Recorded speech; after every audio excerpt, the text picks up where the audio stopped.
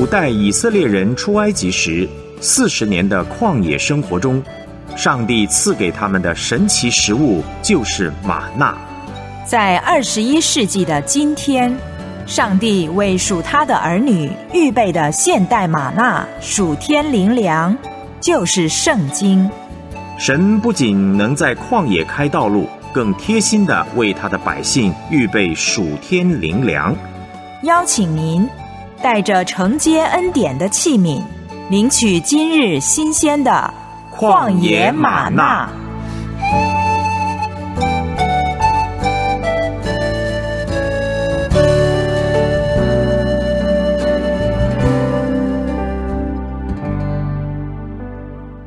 欢迎收听《旷野玛纳》，我是你的灵修伙伴孙大中。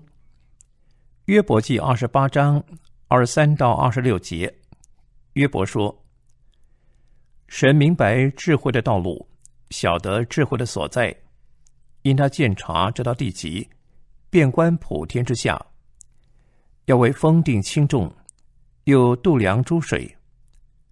他为雨露定命令。”为雷电定道路，神查看一切，在他并没有意外，一切都在他的掌握之中。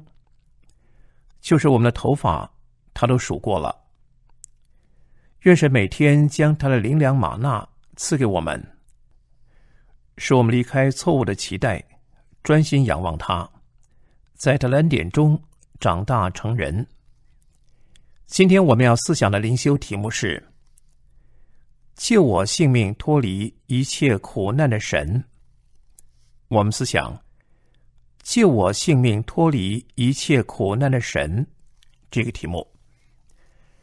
所要读的经文在旧约圣经撒母耳记下第四章，请预备好您的圣经。我们先来听一首诗歌，祝凡事引导。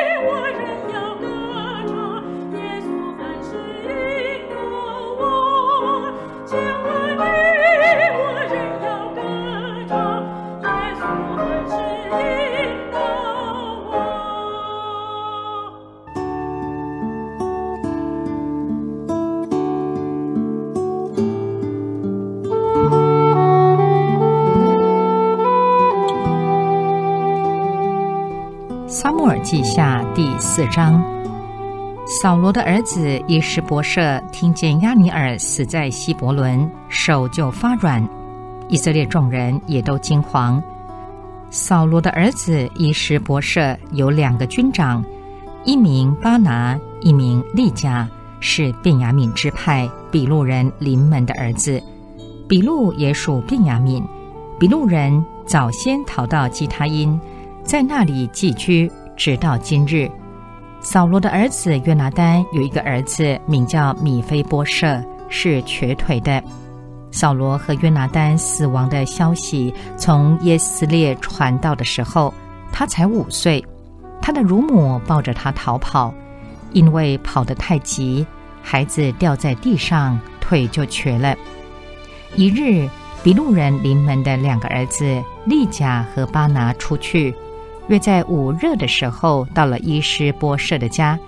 伊施波舍正睡午觉，他们进了房子，假作要取麦子，就刺透伊施波舍的肚腹，逃跑了。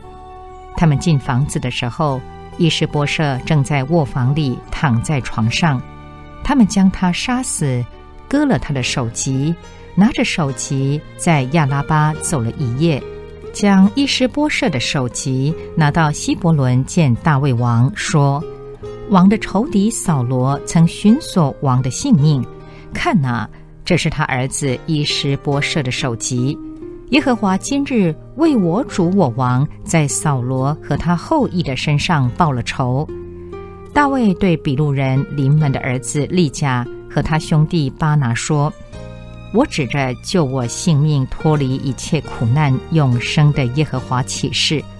从前有人报告我说扫罗死了，他自以为报好消息，我就拿住他，将他杀在喜格拉，这就做了他报消息的赏赐。何况恶人将一人杀在他的床上，我岂不向你们讨留他写的罪，从世上除灭你们呢？于是，大卫吩咐少年人将他们杀了，砍断他们的手脚，挂在希伯伦的池旁，却将伊施波设的首级葬在希伯伦亚尼尔的坟墓里。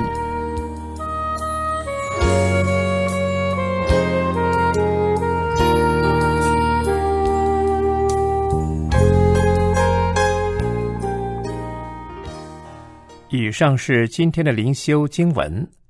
撒母耳记下第四章，我们把焦点放在其中第九节。撒母耳记下四章九节，经文说道：“我指着借我性命、脱离一切苦难、永生的耶和华起誓。”撒母耳记下四章九节，我们就以这节经文作为今天一块背诵和默想的金句。撒母耳记下四章九节，我们再背诵一次。我指着借我性命、脱离一切苦难、永生的耶和华起誓。撒母耳记下四章九节，继续请听孙大中朗读今天的灵修短文：借我性命、脱离一切苦难的神。大卫到了中年，回顾过去，看到主怎样恩待他，神一步步引领他，从深坑中，从淤泥里把他拉出来，放他在磐石上，建立他的前途。人们又怎样可以干预神的作为呢？神已经在他身上写明他的目的。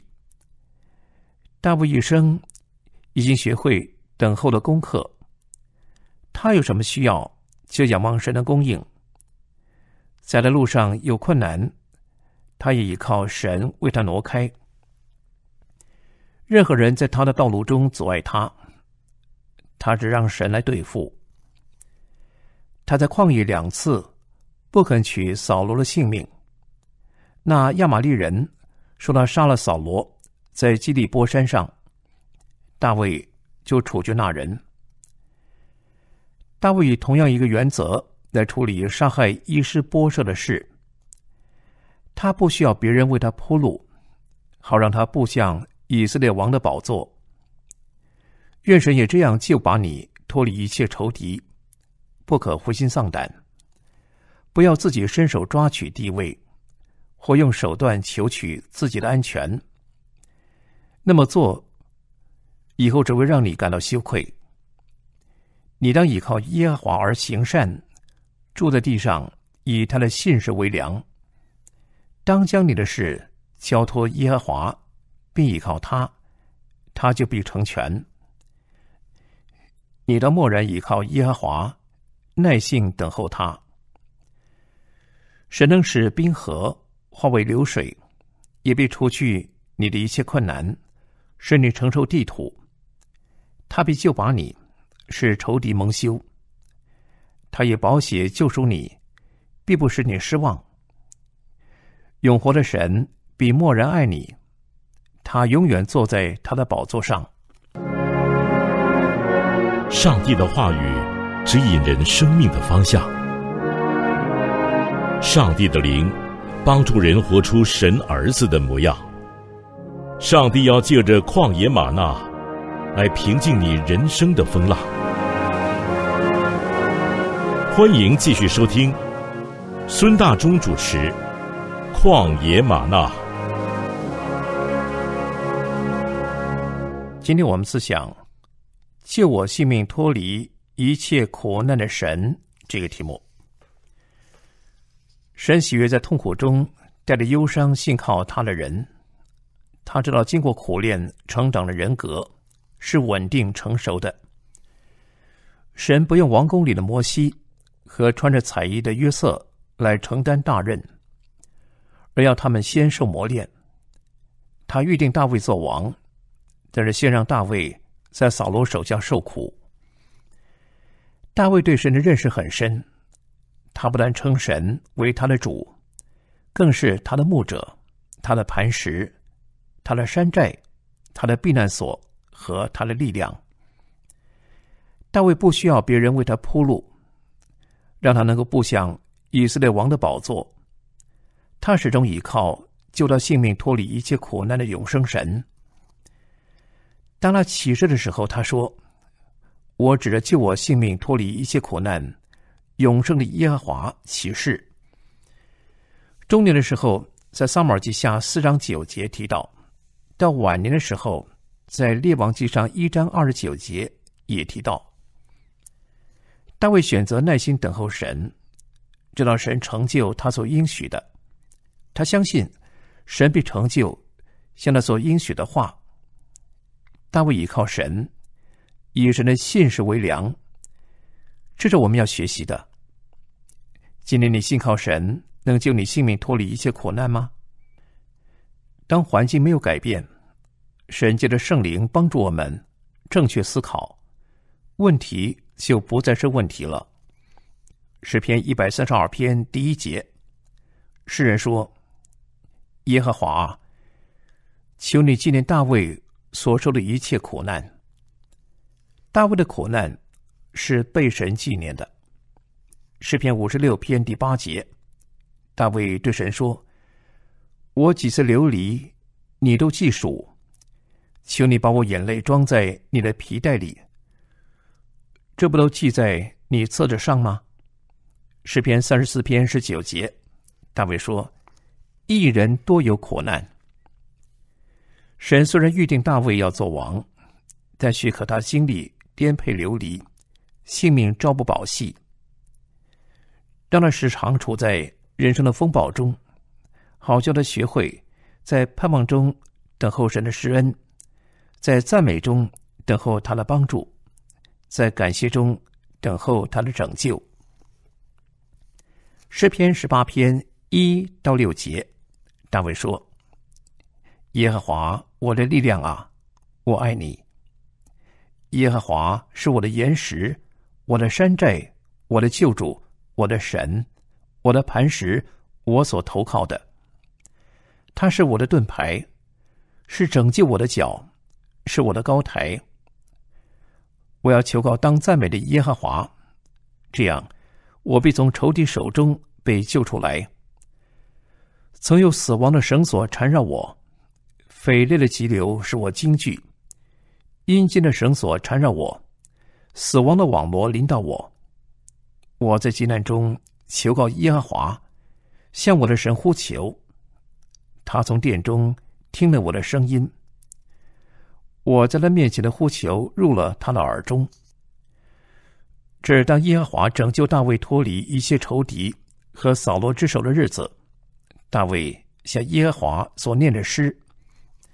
诗篇五十六篇。九到十一节，大卫说：“我呼求的日子，我的仇敌都要转身退后。神帮助我，这是我所知道的。我依靠神，我要赞美他的话。我依靠耶和华，我要赞美他的话。我依靠神，必不惧怕。人能把我怎么样呢？大卫不怕血气之辈。”因为知道神是他性命的保障，就是因为他一生经历过许多神所许可的忧患，他的心已经习惯紧紧跟随神，时时依靠他，才能够在年老的时候，将神的能力只是下代，将他的大能只是后世的人。诗篇三十七篇五到七节，大卫说：“当将你的事。”交托耶和华，并依靠他，他就必成全。他要使你的公义如光发出，使你的公平明如正午。你当默然依靠耶和华，耐心等候他。二十五到二十六节，大卫说：“我从前年幼，现在年老，却未见过一人被弃，也未见过他的后裔讨饭。”他终日恩待人，借给人，他的后裔也蒙福。大卫见证一人虽然失脚，也不至全身扑倒，因为耶和华用手搀扶他。法国奥秘派神学家芬乃伦曾说：“能受苦而不沮丧，是一件伟大的事。一个基督徒在受苦的时候。”能够不先去理解自己所背的十字架，而确信神用他的圣手在带领他，就容易得胜。相反的，一直胡思乱想，一直问神：“神啊，为什么？”就会多忧多疑，就容易给魔鬼留了地步。约伯曾经为他在受苦的时候缺乏信心，在苦难中说了很多无用的话而懊悔。当约伯亲眼见神的时候，随即厌恶他的言语，在尘土和炉灰中懊悔。当神要我们不活在自己有限的经验里，而靠他口中所出的一切话，给我们特别的带领的时候，要对神不务实也不务事有信心，不因为面临不利的环境，看见不希望见到的苦难，心里就起了疑惑。反倒因信，心里得坚固，将荣耀归给神。你说，神既然爱大卫，为什么不让他早早坐上王位，而让他颠沛流离呢？因为大卫不单是有能力做和珅心意的王，他还多才多艺，他有写诗的恩赐。神许可大卫多受痛苦，尝尽忧患。结果，大卫写出一篇篇优美感人的诗篇，把内心深处的感受抒发出来。神借着他替我们说出了我们言语说不出来心中的感受。今天，当我们陷入忧愁，感到前途似乎乌云满布，打开诗篇来读，我们就看见亮光。神并非不能让大卫安舒，而要他在困境里。待上一段时间，使他非得求告神不可。结果患难生出忍耐，忍耐生出老练，老练就生出盼望。你想，大卫若是未曾落到极卑微之地，免去的压力痛苦，不遇见危难，不遇见困难，那么我们今天诗篇里就少了很多能表达我们忧伤和喜乐的金句，我们的损失。将有多大呢？但感谢神，借着饱经忧患的大卫，把我们想说却说不出来的渴望，写成了诗篇，叫我们晓得该怎样跟神祷告。神为自己名的缘故，引导大卫，指点他，将生命的道路指示他。大卫谦卑倚靠神，他的心是清洁的，他的动机是纯正的。诗篇二十五篇四到五节，大卫说：“耶和华啊，求你将你的道指示我，将你的路教训我。求你以你的真理引导我，教训我，因为你是救我的神，我终日等候你。”大卫曾经有两次机会可以除掉扫罗。但他拒绝了这样的试探，不愿下手害耶和华的受膏者，而甘愿等候神，继续过着被扫罗寻索、逃避扫罗的日子。诗篇六十二篇第一节，大卫说：“我的心默默无声，专等候神，我的救恩是从他而来。”纵观大卫的一生，可说充满着各种忧患和试炼。但他知道，神昼夜眷顾，无论何时，无论何地，无论何事，神都以他至高的全能在约束一切，以他绝对无误的旨意在统治一切，以他的智慧在规定一切。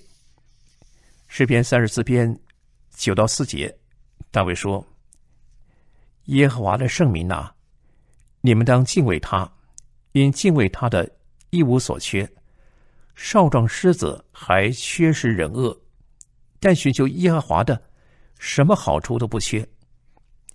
孙德生弟兄在写神的门生大卫的时候，他提到大卫有惊人的忍耐和自制，他从不下手强求命运的实现。当扫罗睡在辎重营里，他的枪在头旁插在地上。亚尼尔和百姓睡在他周围。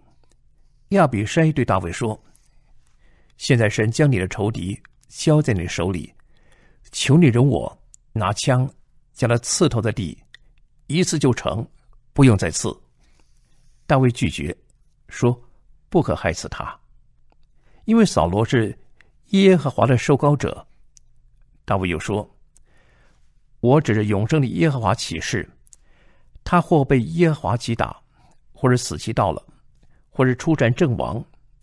我在耶和华面前，万不敢伸手害耶和华的受膏者。现在，你可将他头旁的枪和水瓶拿来，我们就走。于是大卫从扫罗的头旁拿了枪和水瓶，二人就走了。没有人看见，没有人知道。也没有人醒起，都睡着了。圣经说：“因为耶和华使他们沉沉的睡了。”大卫如此行，只因要合神的心意。撒母耳记下一章一到十六节记载：扫罗死后，大卫击杀亚玛利人回来，在喜格拉住了两天。第三天，有一人从扫罗的营里出来。衣服撕裂，头蒙灰尘，到大卫面前伏地叩拜。大卫问他说：“你从哪里来？”他说：“我从以色列的营里逃来。”大卫又问他说：“事情怎样？请你告诉我。”他回答说：“百姓从镇上逃跑，有许多人扑倒死亡，扫罗和老儿子约拿丹也死了。”大卫问报信的少年人说：“你怎么知道扫罗和他儿子约拿丹死了呢？”报信的少年人说：“我偶然到基利波山，看见扫罗伏在自己枪上，有战车马兵紧紧的追他。他回头看见我，就呼叫我。我说：‘我在这里。’他问我说：‘你是什么人？’我说：‘我是亚玛利人。’他说。”请你来将我杀死，因为痛苦抓住我，我的生命尚存。我准知他扑倒必不能活，就去将他杀死，把他头上的冠冕、臂上的镯子拿到我主这里。大卫有撕裂衣服，跟随他的人也是如此，而且悲哀哭嚎，进食到晚上。是因扫罗和他儿子约拿丹，并耶和华的民以色列家的人倒在刀下。大卫问报信的少年人说：“你是哪里的人？”他说：“我是亚玛利客人的儿子。”大卫说：“你伸手害耶和华的受膏者，怎么不畏惧呢？”大卫叫了一个少年人来说：“你去杀他吧。”大卫对他说。你流人血的罪，归到自己的头上，因为你亲口做见证说，我杀了耶和华的受膏者。少年人就把他杀了。这个亚玛利人来向大卫邀功，自以为报了好消息，但大卫并不领情，而是把他杀在喜格拉。今天我们是否像大卫这样向神心存正直，愿一生让神来引导呢？并且，是否愿意像大卫这样满心感谢神，要报答耶和华向我们所赐的一切厚恩呢？愿我们从大卫的生平当中以及所写的诗篇里，能更多的晓得大卫之所以蒙神喜爱的原因。愿主的灵引导我们，使我们进入他旨意的深处。请我们去祷告，主啊。大卫合你心意，不等于他一生完美没有瑕疵。你知道大卫在赫人乌利亚的事上如何得罪你，使你蒙羞。你许可大卫的软弱被记载下来，成为我们的见解。但除了那件事，他都是行你眼中看为正的事，一生没有违背你一切所吩咐的。主要这是何等宝贵！你是救他性命、脱离一切苦难的神。我们若有信心，把自己交托给你，你也必拯救我们到底。主啊，大卫不住的向你求问，一生蒙你指教，你是他的牧者。求主给我们谦卑的心，叫我们的眼目也时时仰望你。你是我们的亮光，是我们的拯救，我们还怕谁呢？你是我们四维的盾牌，是我们的荣耀，又是叫我们抬起头来的。主啊，救恩唯独从你而来，愿你坚固我们的信心，牧养我们，扶持我们，直到永远。祷告祈求，奉耶稣基督的圣名，阿门。我是孙大中，下次节目时间空中再会。愿神赐福给您。主耶和华是我牧者，我必不知